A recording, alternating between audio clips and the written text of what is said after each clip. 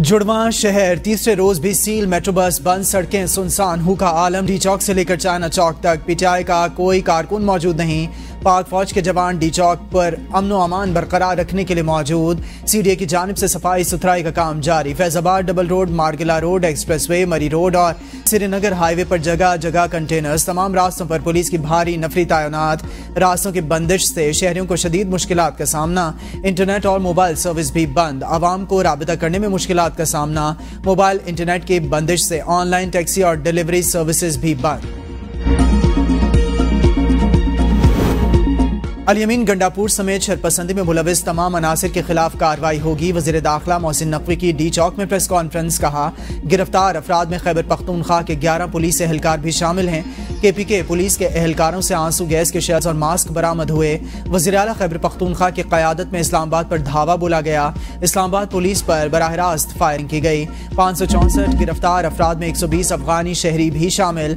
इनका S C ओ इजलास तक डी चौक में धरना देने का प्लान था। इनका मनसूबा तलाशें गिरें। इनके मकासद नाकाम हुए। कोशिश है जल्द अज जल्द चीज़ें नॉर्मल करें। वजारत दाखिला ने तहकीकत शुरू कर दी। वजी अजम को रिपोर्ट पेश की जाएगी।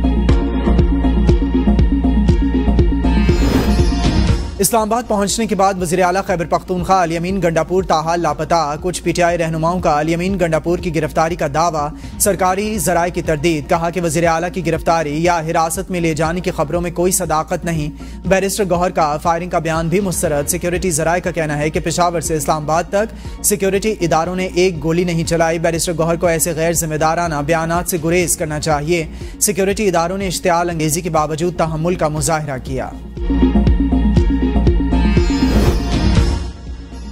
खैबर पख्तूनखा असम्बली का हंगामी इजलास आज तलब इजलास पीर सात अक्टूबर तक मुलतवी किया गया था। इजलास में पीटीआई के मुजाहरे और पकड़ धकड़ समेत दूसरे इशूज पर बहस होगी।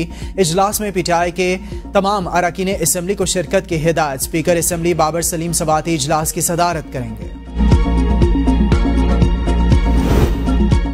कराची के इलाके शेरशाह में सी टी टी की कार्रवाई। D S P Ali Raza के कत्ल में मुलविस दो मुलजमान हलाक। सी टी टी हुकाम के मुताबिक हलाक। दहशत गर्दों का ताल्लुक कलदम तंजीम से है। दहशत गर्दों ने रमासाल टी डी अली रजा को करीमाबाद में शहीद किया था।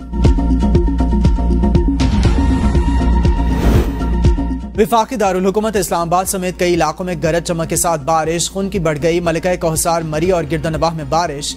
कई इलाकों में जालाबारी भेरा और गिरदनवाह में मूसलाधार बारिश और जालाबारी जनावाला शहर और गिरदनवाह में बारिश से गर्मी का ज़ोर टूट गया। पेशावर में मामूली बारिश से मौसम में बेहतरी।